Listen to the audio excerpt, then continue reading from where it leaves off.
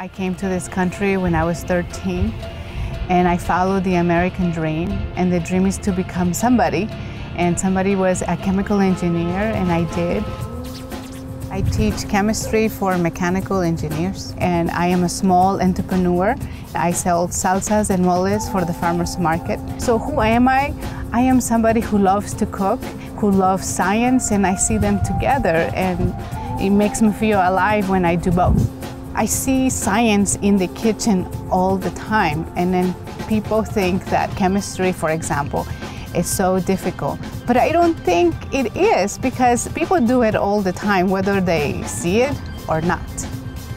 When we talk about acids and bases, I bring them salsa, tomatillo base, and a roasted tomato, and they can taste the difference in acidity. And so we're trying to close the gap between the classroom and the real world. So they see that what they learn in a chemistry class actually gets used in the real world. So I think it's really fun.